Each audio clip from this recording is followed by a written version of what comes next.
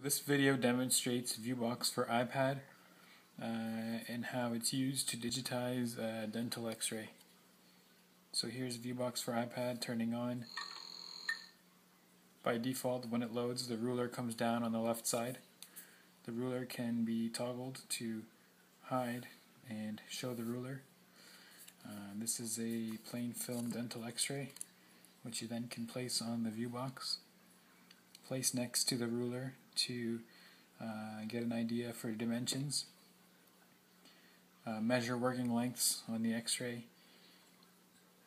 Okay, um, the image is then captured with a different device. In this case I'm using the iPhone 4S. You can also use a regular digital camera uh, or uh, another suitable product.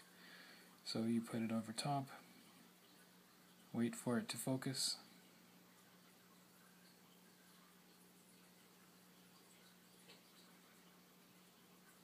Okay, and here you have a digitized digitized dental X-ray um, with showing the the scale, ready to email, send, uh, print, whatever you need. And here are some more examples of dental X-rays taken on um, an iPad running ViewBox or an iPhone running ViewBox with uh, another uh, iPhone.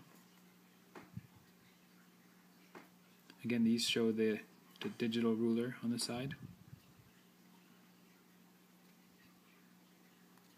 Um, this is a an iPad with a series of films placed on top of it.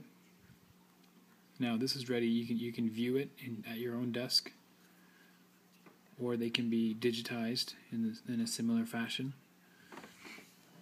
and uh, emailed, and the quality is actually amazing.